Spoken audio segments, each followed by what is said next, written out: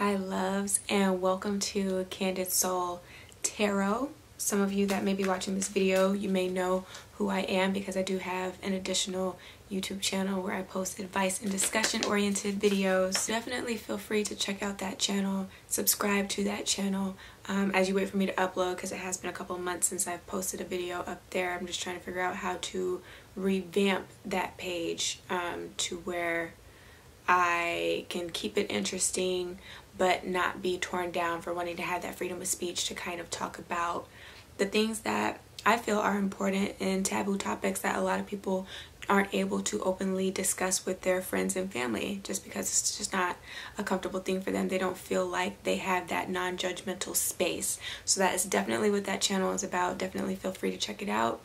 But Candid Soul Tarot is exactly that. I'm going to give you my honest, intuitive interpretation of my tarot cards.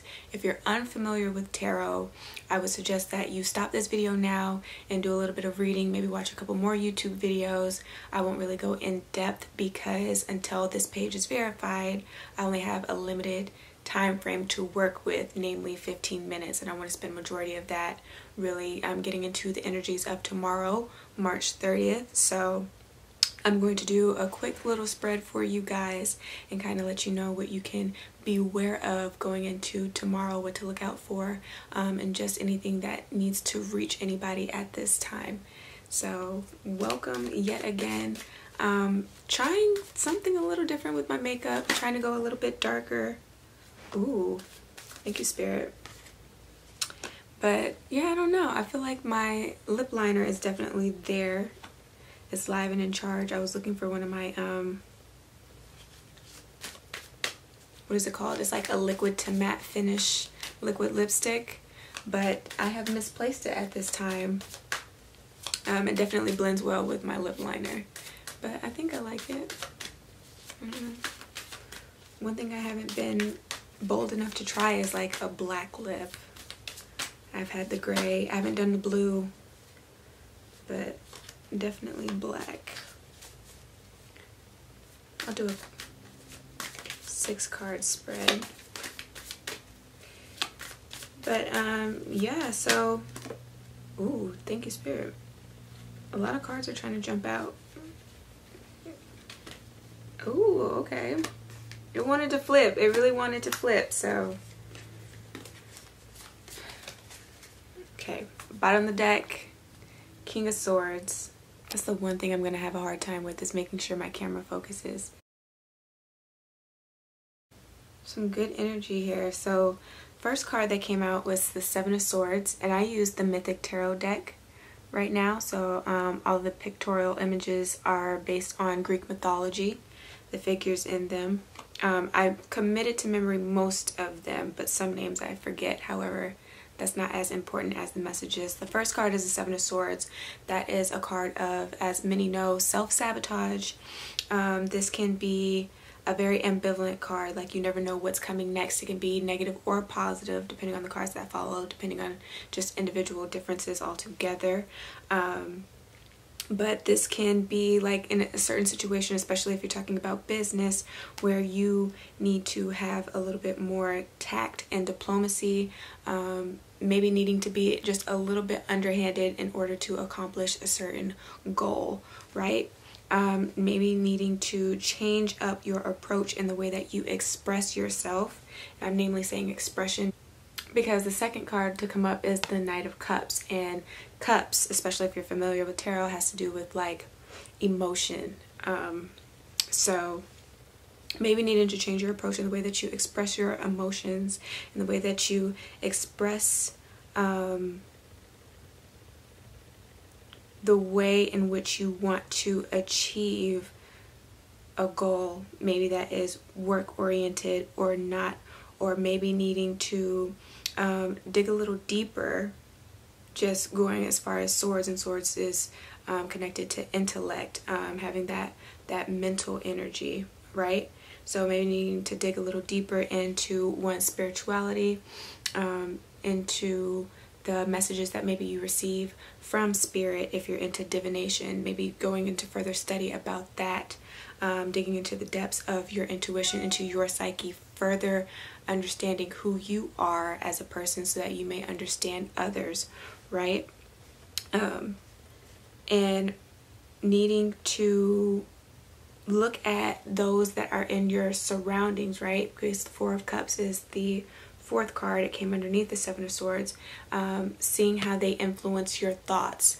Those people that are around you, there are a lot of friends that proclaim to be your friend, but if you notice that you've kind of been telling them things that you want to accomplish from a, a work standpoint, an emotional standpoint, uh, from a spiritual standpoint, and they're not backing you, they're not giving you um, any resources, any resources for you to further your development in those areas and for you to have success in those areas, then those aren't the people that you need to be confiding in. You will come up feeling empty. Um, this is a very empty feeling card, right?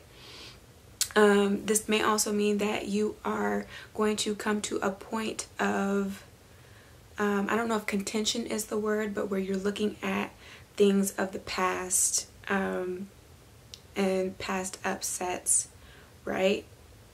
Looking at past patterns and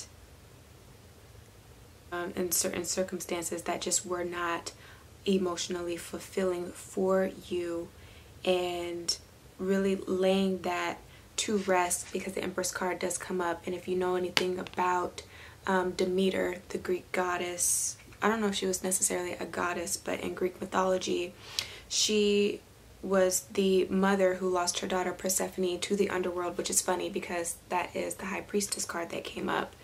Um, she lost her daughter to the underworld, and the um, I wanted to say the Empress Demeter. She was the woman that was full of abundance. She dealt with harvesting crops, like what you sow is what is reaped with the Empress card essentially, right, with Demeter. Um, however, when she lost her daughter Persephone to the underworld, to Hades, because she, she took a bite out of the pomegranate, her daughter in this case, right, that is why we now have seasons according to Greek mythology. So she went into like a depressed state. So during the winter months is when Persephone is with Hades, you know, in the underworld.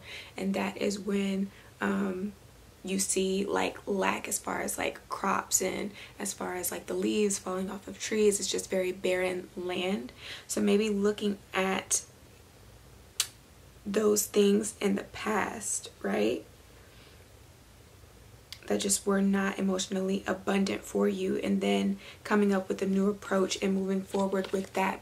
Because the outcome card is the knight of swords clarified with the ace of cups right? If we're purely going off of romance, I want to say you're coming into a period, you or somebody that you may be dealing with, where they are no longer going to be hiding their feelings. Um, where, what is that word that I'm thinking of?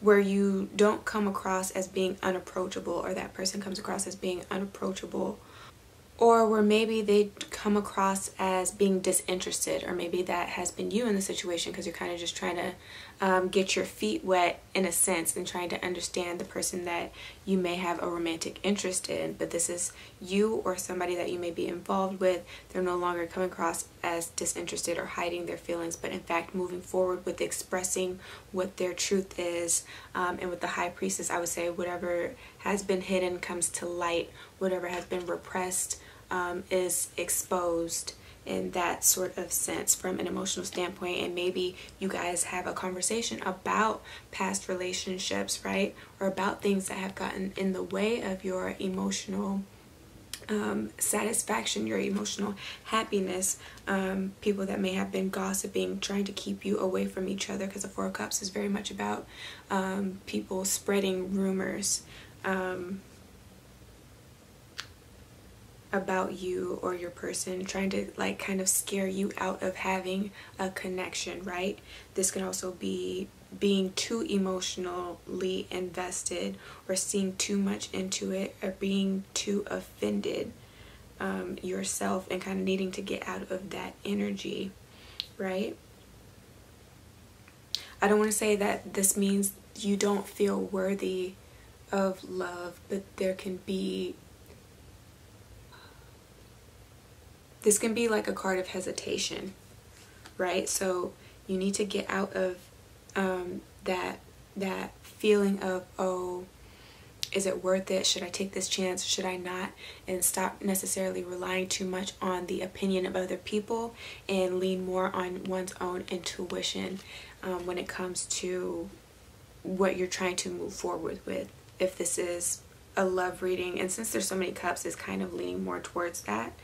Um, but understanding you know that you are worthy that you are abundant that you have a lot that you can bring to the table understand that whatever seeds have been sown in the past um, even if those past relationships didn't work out they were all for your greater good and they're kind of setting you up for your future like that down period the winter months right that um, barrenness that feeling of emptiness and that feeling of lack um, it's all coming full circle and you will be feeling more abundant. You are going to be stepping into a love that um, overfloweth because you see the water in the background. I really hope when I upload this video you guys can kind of see how good these cards are. Um, I just love the illustrations but um, yeah, everything is coming in. Everything that you've been trying to manifest is coming in, especially in this relationship.